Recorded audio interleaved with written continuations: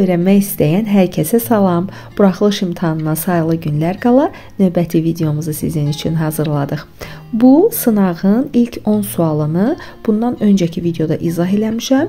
Əgər baxmaq istəsəniz, keçid eləyib həmin videonu izləyib sualları cavablandıra bilərsiniz. İndi isə keçək növbəti suallara. 11-ci suala baxırıq. Choose the correct form of the verb. Əvvəlki videoda da qeyd eləmişəm ki, şərtə xüsusi fikir vermək lazımdır.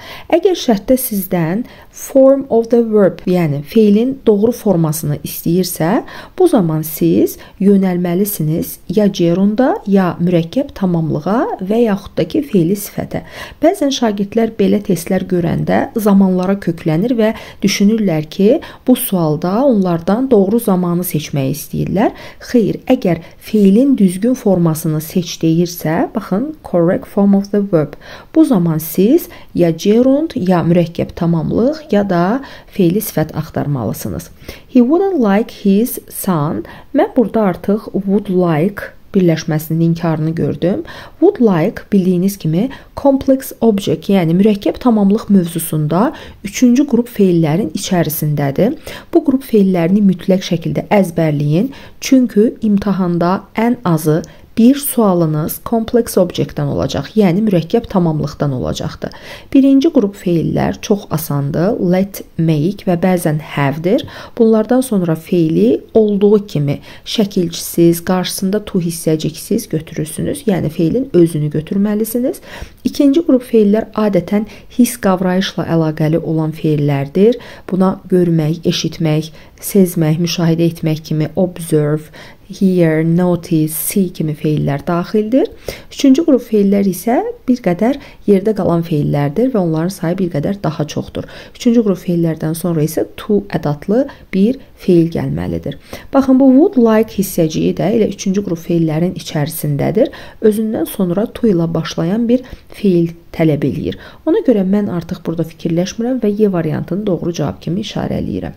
Əvvəlki videoda da qeyd eləmişdim ki, əgər siz mürəkkəb tamamlıq mövzusunu, yəni complex object mövzusunu bilirsinizsə, bu sualı həll etməyə sizə saniyələr lazımdır. Sadəcə would like-ı görən kimi to become-ı seçirsiniz və bununla da yaptığınıza kanaat etmiş olursunuz.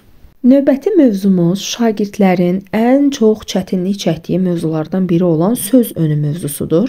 Söz önü mövzusunu mən düşünürəm ki, buraxılış imtahanında sizə o qədər də çətin salmayacaqlar. Yəni hamının bildiyi, e, çox asan olan birləşmələrdən salacaqlar. Eynən 12-ci sualdakı kimi. Baxın, burada bizdən 3 dənə söz önü yerləşmə yerləşdirməyimizi tələb eləyir. Birini yerləşdirməliyik December 5-in qarşısında. Bildiyiniz Bildiyiniz kimi, əgər aylar yanında dəqiq tarixlə işlənirsə, bu zaman onun qarşısında 10 işlətməlisiniz. 10. Yəni A-nı, B-ni və D-ni yanlış cavab kimi çıxıram. Yox, əgər ayların qarşısında tarix olmasa, misal üçün burada dekabrın 5-i hissəciyindəki bu 5-i olmasaydı, sadəcə dekabr, desember yazılmış olsaydı, bu zaman mən burada in seçərdim. Amma dəqiq vaxt verildiyi üçün 10 sözünü işlədəcəm. Davam edirəm. Rustavi one of the oldest cities. Artıq burdan izahda dedi və biz bildik ki, Rustavi şəhərdir. Şəhərlərin qarşısında daha çox in işlənir əgər mənaya uyğun gəlirsə. Cümləmizdə deyir ki, o dekabrın 5-i Rustavidə doğulub, yəni orada, şəhərdə Bu zaman in söz önündən istifadə edirik. Artıq cavabımız bəllidir, C variantı. Georgia birləşməsi var. Bu isə Gürcüstanın qədim şəhərlərindən biri. Yəni ın, in, un, ün hissəciyi var. Gürcüstanın. Buna görə də of sözündən istifadə edəcəyik. Cümlənin tərcüməsi belə olur. O, dekabrın 5-i Gürcüstanın ən qədim şəhərlərindən biri olan Rustavidə doğulubdu. Cavabımız oldu C variantı. Modal feillər mövzusu mütləq qarşınıza çıxacaq olan mövzular içərisindədir. Yəni buraxılış imtahanında qarşınıza çıxacaq olan mövzulardan biri modal feillər mövzusudur. Modal feillər mövzusu əslində bilənlər üçün çox rahatdır. Əgər bir neçə xüsusi qaydalar var, onları bilirsinizsə, hansılar to ilə işlənir, hansılar to-suz işlənir, şəxslərə görə necə dəyişir köməkçi modal feillər, bunları bilsəniz, bu zaman modal feillər testini çox rahatlıqla işləyə biləcəksiniz. Mən burada baxıram. Last year I play the guitar but now I Gördüyünüz kimi mən bura 2 dənə modal fe'l yerləşdirməliyəm. Mənə kömək edən bəzi sözlər var. Baxmayaraq ki, mövzumuz, variantlarımız modal fe'llər mövzusudur. Mən burada zaman zərfləri görürəm. Last year. Last year keçən il deməkdir və mütləq şəkildə keçmiş zamanda işlənən bir feil tələb eləyir. Yəni A-dakı can-i çıxacağam, digərləri ola bilər could və yaxud couldn't. İkinci tərəfə baxıram. İkinci tərəfdə now var. Now indi deməkdir və indiki zamanda olan bir feil tələb eləyir. Və bu zaman mən ikinci tərəfdə kudu çıxıram. Y variantı da yanlış cavab oldu. Qaldım B, C, D variantlarının arasında. İndi isə baxıram. Bat hissəciyi verilib mənim cümləmdə. Əgər bat hissəciyi varsa, bildiyiniz kimi bat ziddiyyət bildirir, amma ancaq lakin kimi tərcümə olunur. Ziddiyyət bildirdiyi üçün bat işlənən mürəkkəb cümlələrin bir tərəfi təsdiq mənanı, digər tərəfi isə inkar mənanı ifadə etməlidir. Yəni məcbur deyil not hissəciyindən istifadə edərək inkarlıq yaradasınız. Bəzi cümlələrdə heç e, antonimlərdən istifadə olunur. Yəni bu zaman ziddiyyət yaradılır. Bəzi cümlələrdə isə notdan istifadə edilərək inkar feillər yaradılır. Yəni bat varsa, batın bir tərəfi təsdiq məna, digər tərəfi inkar məna ifadə etməlidir, çünki ziddiyyət bildirir. Məndə bat var və bunun üçün C variantını çıxacağam yanlış cavab kimi. Niyə? Çünki couldn't və can't hər ikisi inkarda işlənib. Mənə lazımdır batın bir tərəfi təsdiqdə olsun. C-ni çıxıram. B variantını da yanlış cavab kimi çıxıram. Çünki burada da hər ikisi təsdiqdə verilibdir. Yenə qeyd edirəm, bat ziddiyyət bildirdiyi üçün bir tərəf təsdiq, digər tərəf inkar olmalıdır. D variantı məndə doğru cavab qaldı. İndi tərcümə edəcəm. Keçən il mən gitara çala bilmirdim. Ancaq indi çala bilirəm. Gördüyünüz kimi ziddiyyət yarandı. Bir tərəf təsdiq, digər tərəf inkarda oldu.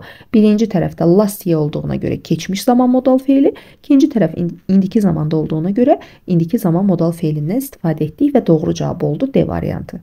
Növbəti testimiz 14-cü testimiz passive voice, yəni məchul növdə olan feili seçməyimizi istəyir bizdən. Preparations by the time the guests arrived. Şagirdlər belə testlərdə birinci e, cəhd eləyirlər cümləni tərcümə etməyə. Ehtiyac yoxdur əziz şagirdlər tərcümə etməyə. Çox az testlərdə sizə tərcümə lazım olacaq. Mən bilirəm ki, ə, e, respublika üzrə əksər şagirdlərdə tərcümə bacarığı çox zəifdir. Ə, e, tərcümə edə bilmirlər və tərcümə etdik, etməyə çalışdıqda özlərini daha da çətinə salırlar və doğru cavabları tapacaqları varsa da əksinə gedirlər, ən yanlış cavabı seçirlər. Ona görə tərcüməni ən axırıncı ehtimal kimi saxlayın. Əvvəlcə çalışın qrammatik qaydalardan istifadə edərək cümlənin doğru ə, doğru variantı seçməyə. Mən baxıram, mənim cümləmdə arrived var. Arrived bildiyiniz kimi keçmiş zamanda işlənən bir feildir. Zaman uzlaşmasını nəzərə alsaq, yenə qeyd edirəm, baxmayaraq ki, məchul növ testidir, biz yenə zamanlara müraciət edirik. Həm məchul növdə, həm modal feillərdə, həm də zamanların testinin özündə biz zaman uzlaşmasını gözləməliyik. Zaman uzlaşmasına baxdıqda arrived keçmiş zaman olduğuna görə mənə keçmişdə olan bir feil lazımdır. Buna görə B-ni çıxacam çünki will gələcəkdir. C-ni çıxacam çünki have indiki zamandır. D-ni çıxacam çünki are indiki zamandır. Bəzən şagirdlər nəyə çaşırlar? Misal üçün D variantını götürəcəm. Deyirlər ki, burada are və finished var. Necə olur? Are indiki zaman, finished keçmiş zaman olur. Əziz şagirdlər, buradakı finished keçmiş zaman feili deyil to be formasının, to be feilinin indiki zaman formasından sonra gələn idili feil Feili sifət 2-dir. Yəni participle to-dur. Bu məchul növü düzəldən bir feil formasıdır. Yəni keçmiş zaman deyil. Bəs feilin zamanını necə müəyyənləşdirək? Əgər sizə 2-3 sözdən ibarət feillər verilibsə, onun zamanını necə müəyyənləşdiririk? Mütləq şəkildə birinci feilə baxmaqla, birinci sözə baxmaqla. Birinci sözünüz hansı zamandadırsa, sizin e, birləşməniz də həmin zamandadır. Misal üçün B variantında mən baxıram birinci sözə will. Hamı bilir ki, will gələcək zamanı ifadə eləyir. C variantında have. Have indiki zamanı bildirir. Have been finished indiki bitmiş zamanın məchuludur. D variantında are finished. Are indiki zamandır. Bunu hər kəs bilir. Are finished isə indiki zamanın məchuludur. Yanlış cavablar çıxdıqdan sonra mən qalıram A və Y variantlarının arasında. Had finished və had been finished. Məndə şərtdə nə istəyir? Passive voice, yəni məchul növdə olan düzgün feili seçməyimi istəyir. Məchul növdə isə mütləq bitmiş zamanda been işlənməlidir. Yəni had finished deyə bir məchul növ forması yoxdur.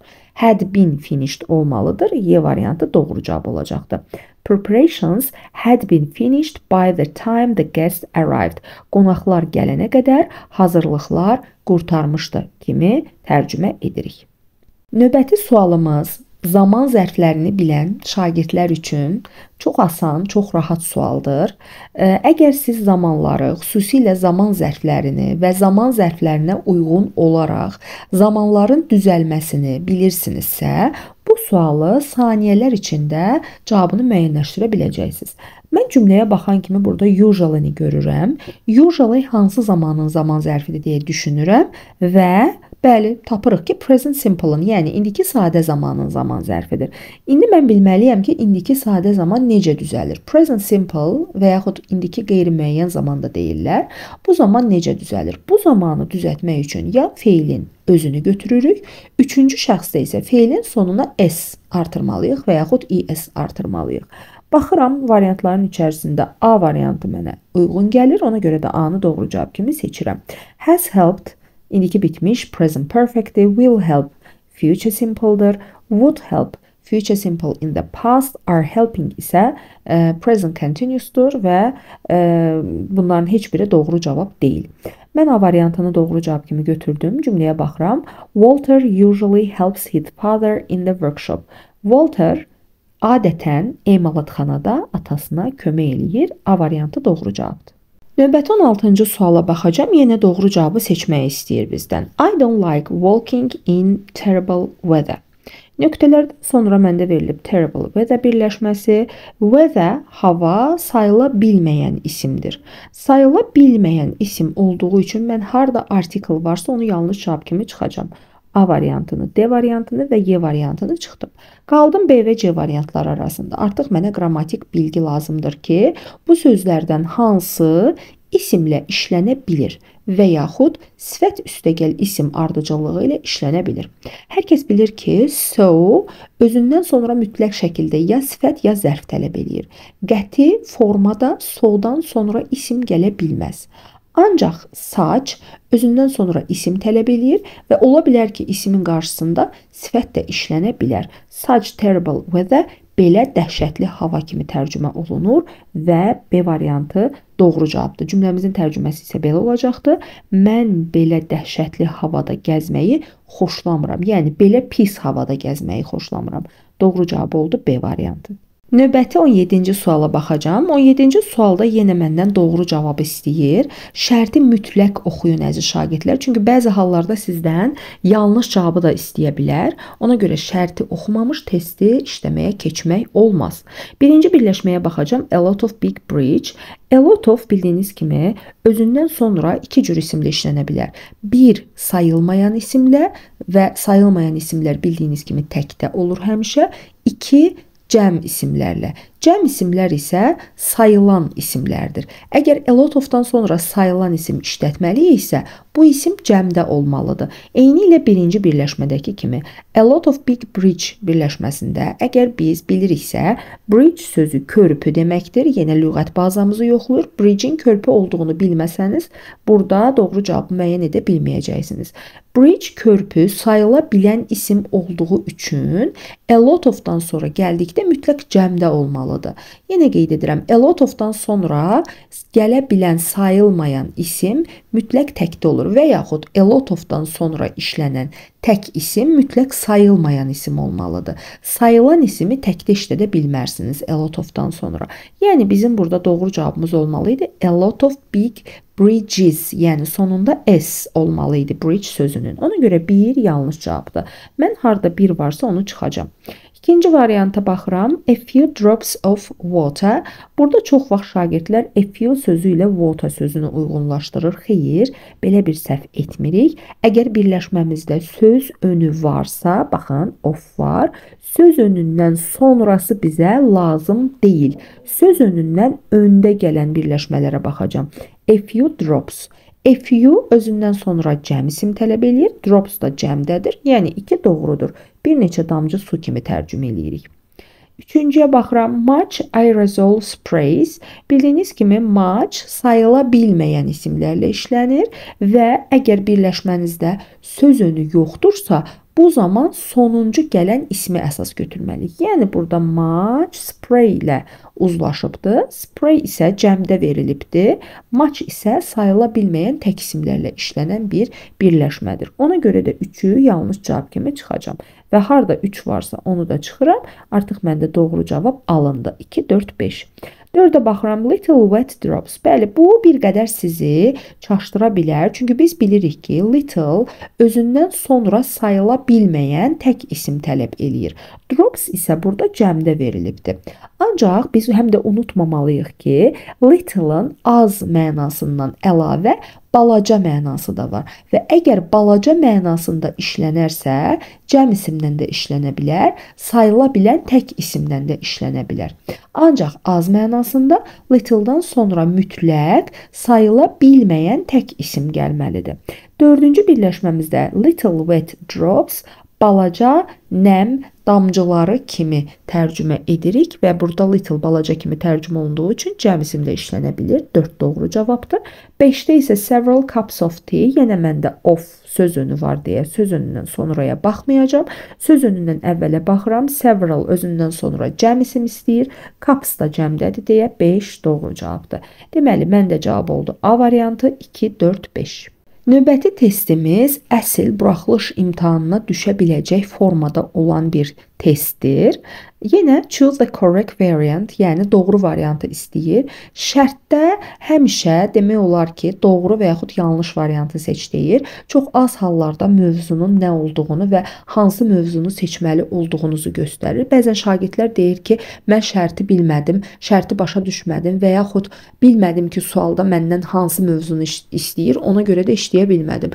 Mən bu bəhanələri qəbul eləmirəm, çünki əgər sualın nəyə aid olduğunu bilmək istəyirsinizsə, sualın variantlarına baxmağınız sizin üçün kifayətdir. Mən variantlara baxanda görürəm most quickly, much quickly, very quickly, quicker, more quickly. Artıq mən burada dərəcə gördüm, sifət zərf gördüm. Deməli mövzumuz sifət zərf və onun dərəcələrinə aiddir. Cümləmə baxacağam. Cümləmi heç bütöv oxumasam da görürəm ki, then var burada. Then varsa müqayisə dərəcədə, yəni comparative degree işlətməliyəm. Most ad, e, üstünlük dərəcədir, lazım deyil. Much bəli, özündən sonra müqayisə dərəcə tələb eləyən bir sözdür, ancaq məndə muchdan sonra müqayisə dərəcə verilməyib, adi dərəcə verilib. Yanlışdır. Muchdan sonra ya more gəlməlidir, ya da sözün sonuna er hissəci və yaxud er hissəciyi artırılmalıdır. C-dəki very quickly adi dərəcədir. Bildiyiniz kimi very-dən sonra adi dərəcədə sifət və ya zərf gəlməlidir.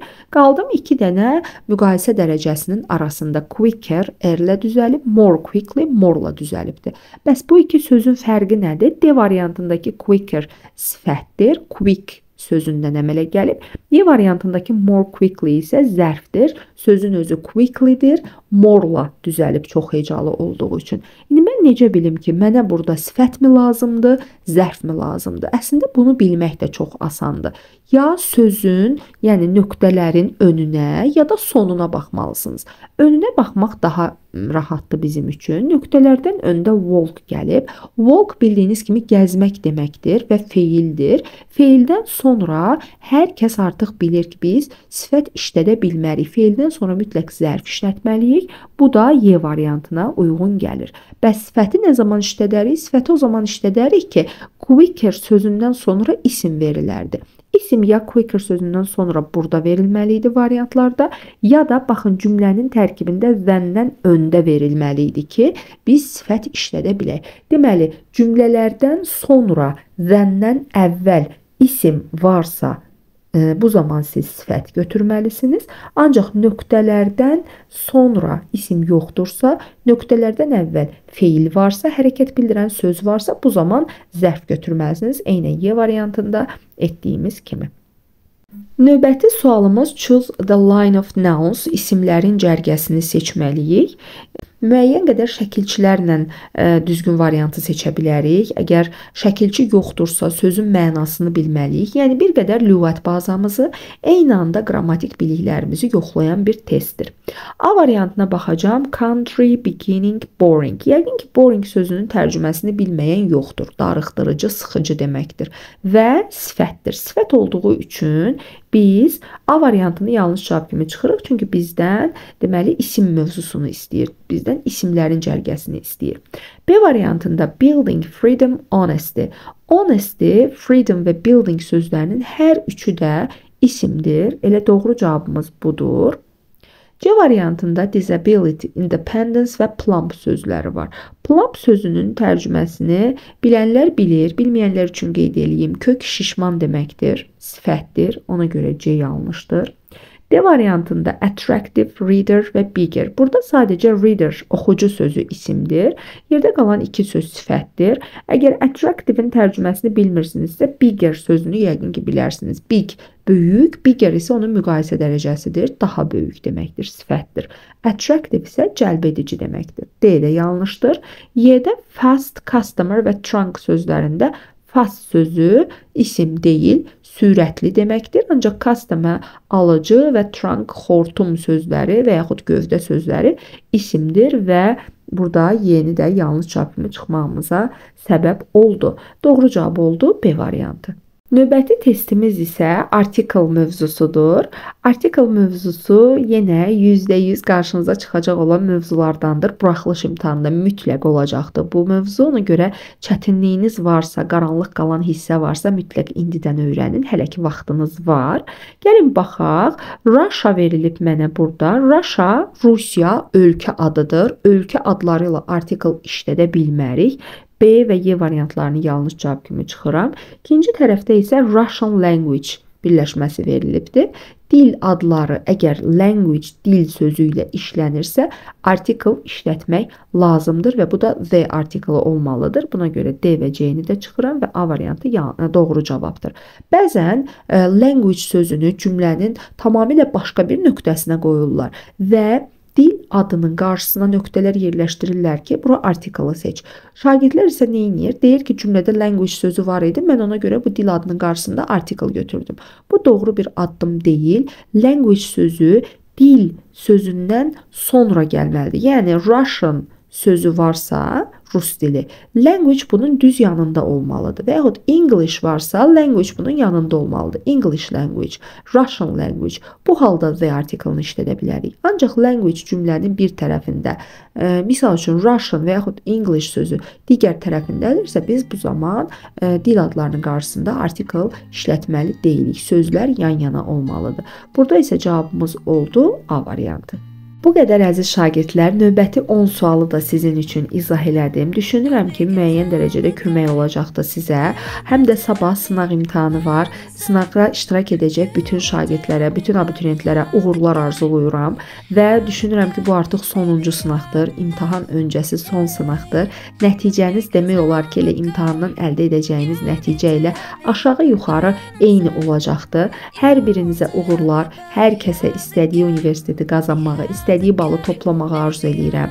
Əgər videomuzdan faydalandınızsa, yeni nəsə bir şey öyrəndinizsə, kanalımıza abunə olmağı, videolarımızı bəyənməyi, dostlarınızla, müəllimlərinizlə, sinif yoldaşlarınızla videonu paylaşmağı unutmayın. Hər hansı bir sualınız olarsa, şərhlər bölməsində yazın və əmin olun ki, mütləq cavablandıracağam. Bu günlük bu qədər əziz şagirdlər, növbəti videolarda görüşənədək. Hələlik.